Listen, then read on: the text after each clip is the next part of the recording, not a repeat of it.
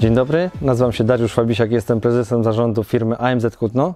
Obecnie znajdujemy się w siedzibie naszej firmy i w naszej nowej inwestycji, którą oto tutaj mamy za moimi plecami. Jest to nasza nowa komora semi-bezodbiciowa, wykonana przez firmę Astat.